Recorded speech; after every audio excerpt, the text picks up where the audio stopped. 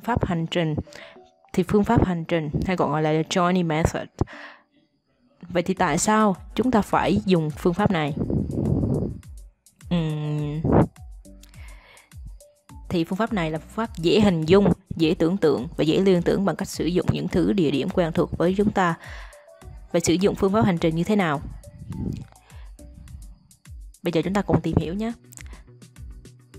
Phương pháp hành trình thì có 5 bước. Bước thứ nhất là tiếp nhận thông tin, bước thứ hai là chọn địa điểm, bước thứ ba là mã hóa và bước thứ tư là hành động. Bước thứ năm là ôn tập. Mình chọn cái địa điểm trước nha, là chặng đường nhà mình, là cánh cửa, nhà kế tiếp, trạm xe buýt, cửa hàng thể thao, cửa hàng điện thoại và nhà hàng hải sản. Cửa hàng hải sản đó. À, mình sẽ sáu đồ vật mình cần ghi nhớ sau đây mình sẽ gắn vào sáu địa điểm này mở cánh cửa nhà mình ra là mình thấy một cái bong bóng trước mặt mình và nó nổ ca bầm bong bóng hình trái tim. Đi qua nhà qua nhà cái bên mình thấy một cái gương rất là to ở phía cánh, cánh cổng và mình soi vào thì mình thấy mặt mình biến thành một con ma. Đi tiếp trên trạm xe buýt mình thấy một cái dù phía trên xe buýt che rất là nhiều cái dù ở phía trên đó. Tiếp theo là cửa hàng thể thao thì mình thấy nơi cái áo cửa hàng thể thao trưng bày có những cái chiếc có những cái dấu chân ở nơi cái chiếc áo này tiếp theo là qua nhà hàng điện thoại là mình nghe được cái nhạc chua, mình nghe được cái tiếng chua kết hợp với cái nhạc chuông iPhone. Tiếp theo là ở cái quán hải sản thì có một cái món ăn sách kẹp cái hải sản này và nó kẹp cái con cua lại. Là món ăn sách kẹp cua. Bây giờ mình sẽ ghi nhớ lại nha có 6 chặng đường từ nhà mình. Đầu tiên là cánh cửa. Tiếp theo là nhà kế bên. Đi qua là trạm xe buýt còn là cửa hàng thể thao. Tiếp theo nữa là cửa hàng điện thoại. Kế tiếp là cửa hàng, nhà hàng hải sản. Rồi mở cánh cửa ra thì mình sẽ thấy một cái bong bóng hình trái tim đập vào mặt mình nổ rất là to. Đúng không? Đi qua nhà kế bên mình sẽ thấy một cái gương soi vào mặt mình là một con ma. Tiếp theo là những cái ô trên xe buýt. Tiếp theo là đôi dép ở ở những cái áo tiếp theo là cái ờ, tiếng chùa ở nơi cái nhà kết hợp với nhạc iPhone và sách món ăn sách kẹp cua kẹp con cua lại bây giờ các bạn tưởng tượng càng phi lý càng lố bịch thì các bạn càng nhớ lâu Bây giờ bước 5 là bước ôn tập, lần 1 ôn 10 phút, lần 2 ôn 24 giờ sau đó, lần 3 là ôn một tuần. Cái ôn tập này là các bạn sử dụng cho những kiến thức mà các bạn muốn ghi nhớ dài hạn, như là kiến thức trong chuyên ngành của bạn. Những cách để các bạn chọn địa điểm thì các bạn có thể chọn địa điểm là ngôi nhà các bạn đang sống hoặc là à, từ nhà của bạn đến nơi làm việc. Có những cái chặng đường nào đó có những cái hoặc là từ nhà đến trường học thì có những cái mốc uh, ờ, như là chùa sân bay trạm xe buýt thì các bạn hãy giữ các mốc đó là cái mốc của mình để ghi nhớ. Bây giờ mình sẽ nói qua cái căn nhà của mình. Là đầu tiên là cánh cổng cái cánh cửa chính của nhà mình. Bước vào cánh cửa chính, đi từ kim đồng hồ thì đó là một chiếc xe máy. Thì mình đo đây, cho đây là đồ vật thứ nhất. Tiếp theo là cái cửa sổ. Thì mình đánh đó là vị vị trí thứ hai. Vị trí thứ ba sẽ là bộ bàn ghế của nhà mình. Và vị trí thứ tư là cái tivi. Vị trí tiếp theo là cái chậu hoa. Thì đây là phòng khách của mình. Mình đã chọn ra năm đồ vật theo chiều kim đồng hồ. Tiếp theo mình sẽ vào phòng bếp đây là bồn rửa chén của nhà mình. Mình đánh thứ tự tiếp theo, từ cái phòng khách sang phòng bếp luôn là đây là vị trí thứ sáu. Vị trí thứ bảy sẽ là nồi cơm điện. Vị trí thứ 8 là cái bàn thờ của nhà mình. Nó ở phía trên cùng thôi, nó nhỏ lắm. Vị trí thứ 9 là cái bếp ga. Và vị trí thứ 10 là cái tủ lạnh. Mỗi căn phòng thì các bạn chọn ra năm đồ vật và lấy theo chiều kim đồng hồ. Mình sẽ vào bài tập thứ nhất là ghi nhớ 10 đồ vật sau. Thứ nhất là bức ảnh, thứ hai là nhà tắm, thứ ba là ngôi sao, thứ tư là bóng rổ và thứ năm là cái nhẫn, thứ sáu là lá cờ, số 7 là ô tô, số 8 là súng, số 9 là máy quạt và số 10 là tờ báo. Bây giờ mình sẽ gắn cái 10 cái đồ vật này vào trong cái 10 thứ tự 10 cái ờ, thứ tự, cái đồ vật thứ tự trong cái ngôi nhà của mình mình chọn 5 đồ vật đầu tiên cho 5 đồ vật trong cái phòng khách của nhà mình và 5 đồ vật tiếp theo cho 5 cái đồ vật ở trong phòng bếp nhà mình. Rồi bây giờ mình sẽ bắt đầu cái vị trí thứ, thứ nhất nè. Rồi đầu tiên vị trí đầu tiên mình sẽ dán cho bức ảnh là chiếc xe máy của nhà mình. Thì chiếc xe máy có bao phủ cái mặt của ông bác hàng sao thì tất cả cái xe máy nhà mình là đều bao phủ bởi cái tấm ảnh này luôn đi ngoài đường thì bởi vì là Việt Nam chiến thắng nên là mình đi bảo, mình bằng cách là mình sẽ dán cái ảnh của cái ông này vào. Mình đi tiếp theo là tới cái cửa sổ sẽ là nhà tắm. Thì mình tưởng tượng rằng là cái vòi sen đang chảy nước quanh cái phòng, quanh cái cái cửa sổ nhà mình. Ra nó chảy nước lạnh và nó bốc hơi nóng lên. Chảy nước nóng, bốc hơi nóng chứ.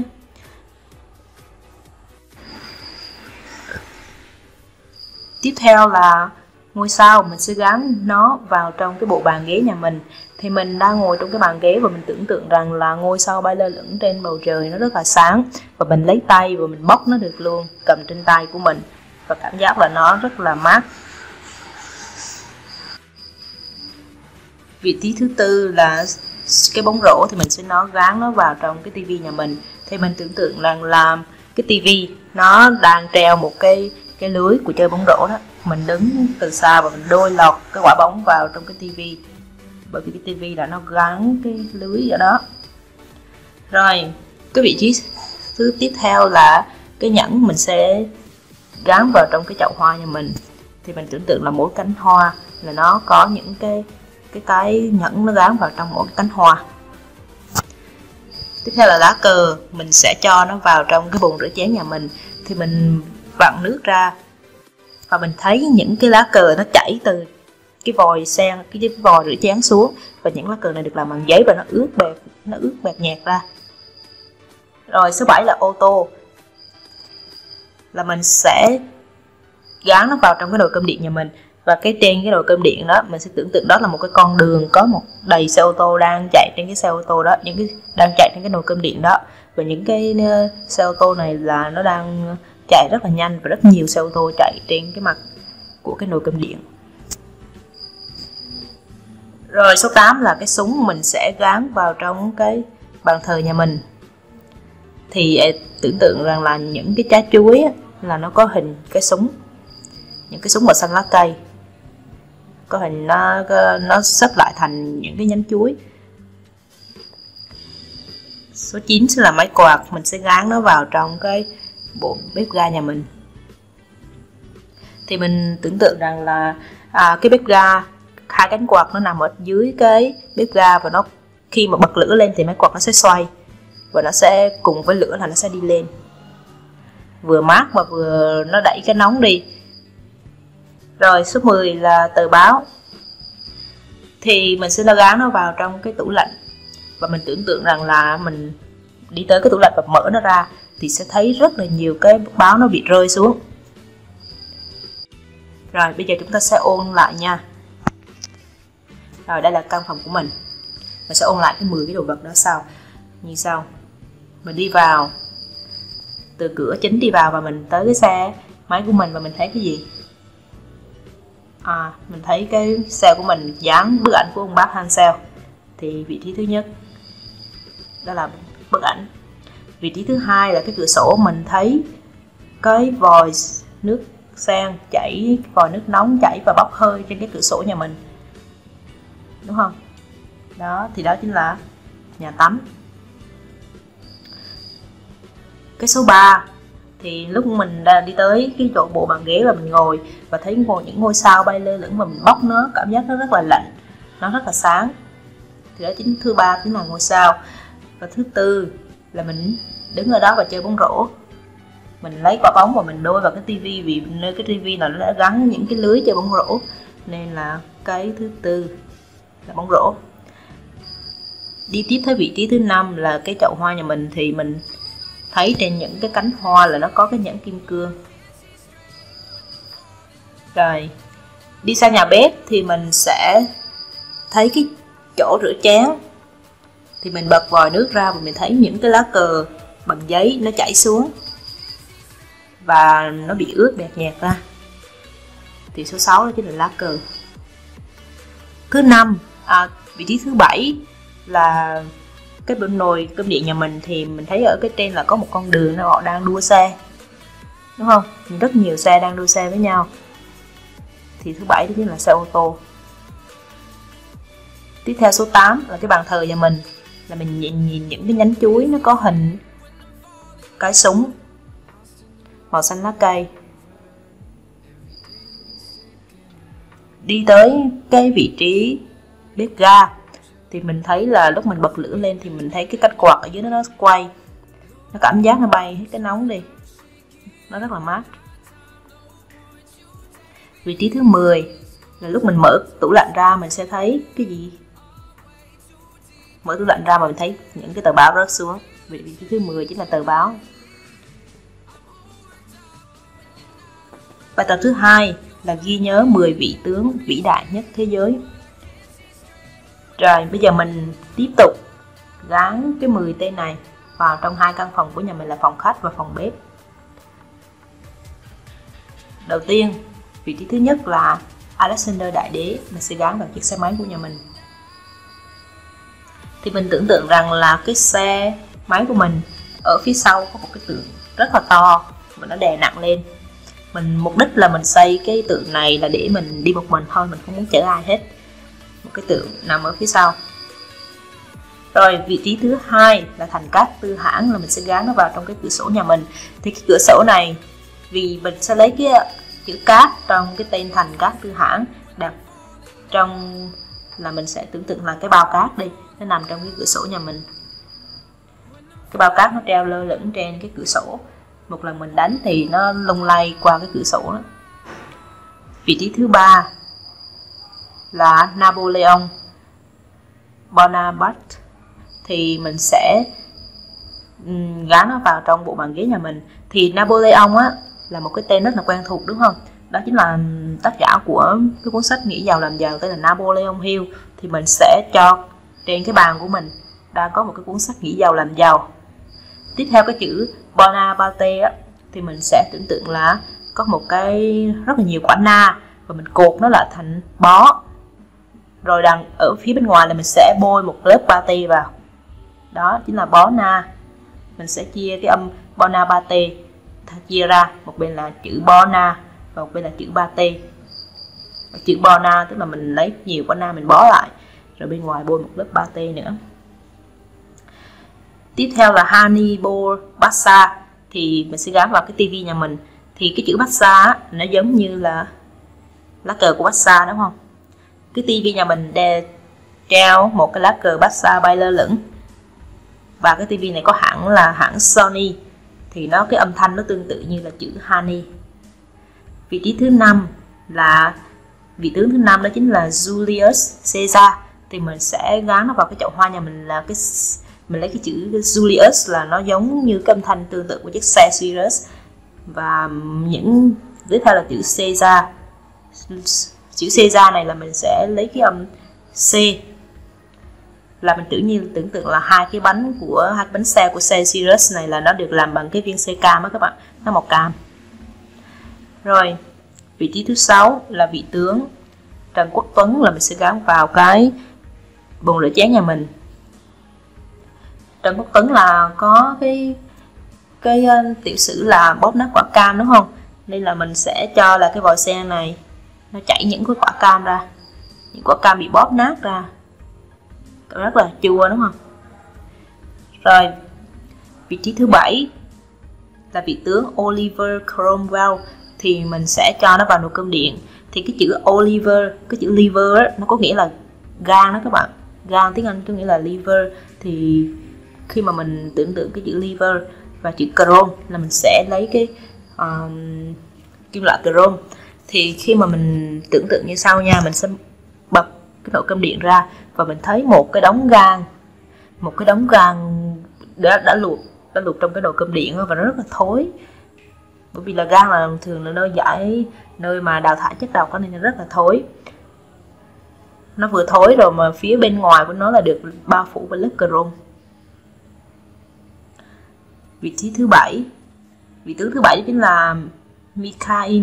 Mikhail thì mình sẽ cho nó giống như chữ mì, hãng mì tôm á. Chữ mi có nghĩa là mì mì tôm. Hãng mì tôm Kain hãng mì tôm. Hãng mì tôm Kain này. Mình sẽ gắn nó vào trong cái bàn thờ nhà mình. Thì mình tưởng tượng là những cái cây hương nó được bao quanh bởi những cái mì tôm hãng kai này được bao phủ hết. Vị trí thứ 9 là vị tướng treo gris thì mình sẽ gắn nó vào trong cái bếp ga nhà mình. Là chữ Gelgri là giống như cái âm gel cái, cái gel rửa tay á các bạn. Và cái chữ gri là mình sẽ tưởng tượng thêm con gà nữa. Mình tưởng tượng là cái gel này đổ vào trong cái con gà ri. Bằng giống như là mình ướp cái con gà ri này bằng cái gel rửa tay và mình nướng nó trên cái bếp ga của mình, nhà mình. Vị trí thứ 10 là vị tướng võ nguyên giáp mình sẽ gắn nó vào trong cái tủ lạnh nhà mình, là mình tưởng tượng rằng là có một cái bộ giáp, cái vỏ giáp thôi. Nó bọc, nó bao lại cái tủ lạnh nhà mình. Như vậy là mỗi lần mà tới muốn mở tủ lạnh ra mình là phải mở cái vỏ giáp này ra, mình mới mở được cái tủ lạnh rồi bây giờ mình sẽ ôn tập lại.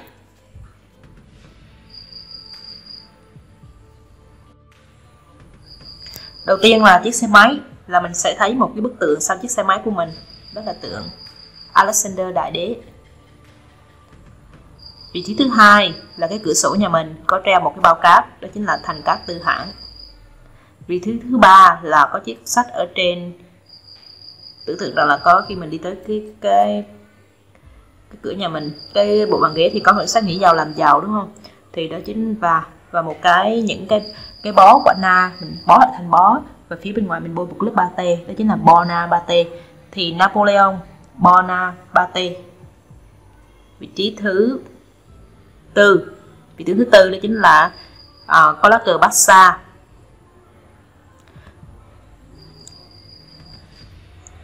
và hãng này hãng TV này là hãng Sony nên là nó giống chữ Hannibal Barca, vị trí thứ năm.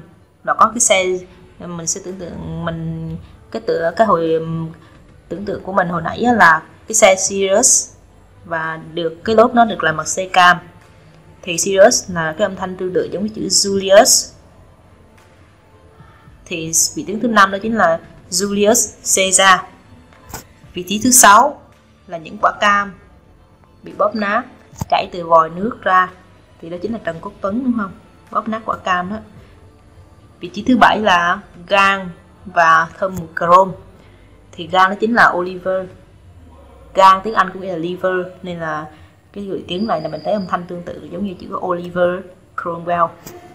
Vị trí thứ 8 là mì tôm, hãng Khan Kain thì đây là vị trí thứ 8 chính là Bikain vị trí thứ 9 là gel và con gà ri gel ướp nên con gà ri và nướng trên cái bếp ga nhà mình. Thì đó chính là treo ri. Vị trí thứ 10 là được bọc bởi cái vỏ giáp. Thì đó chính là vị tướng võ nguyên giáp. Như vậy là hai bài tập này mình đã hoàn thành bằng, bằng cách ghi nhớ. Bằng cách ghi nhớ là phương pháp hành trình. Thì nó rất là dễ dàng ghi nhớ đúng không?